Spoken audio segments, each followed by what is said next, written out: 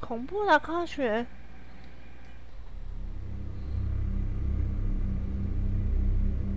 Until Dawn is a game that's full of horror, and one of the things we decided to do early on was to take a scientific approach to how scary it was.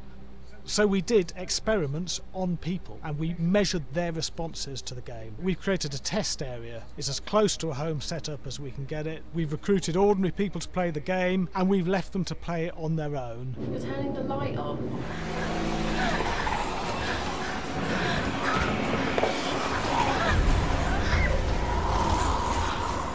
The only difference is it's rigged with cameras and microphones that relay the data through to the next room where people are watching them play.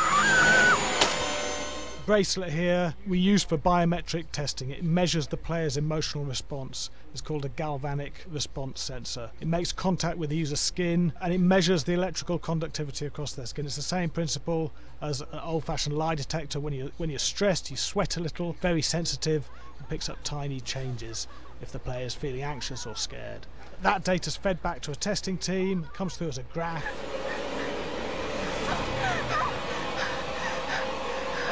I'm sorry.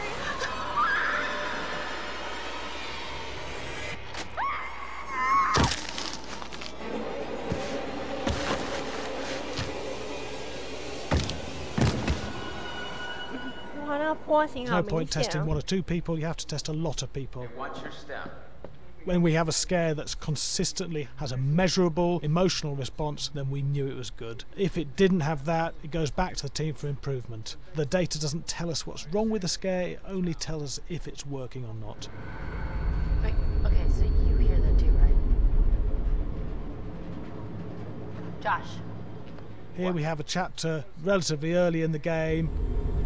weirdly regular. Not, not, nothing regular about it. We have to create tension and anxiety in the player so they are ready to, to receive the scare. Oh,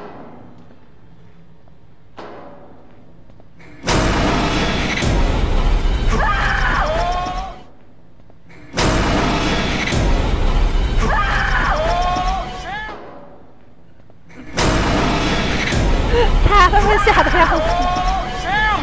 哇，还躲起来，好好笑。 You have to give the player time to recover, to cool down, to calm down, and then start building the tension again bef- before we do the next scare. Hey. What? Hey. What the hell? Boom. You just got mugged.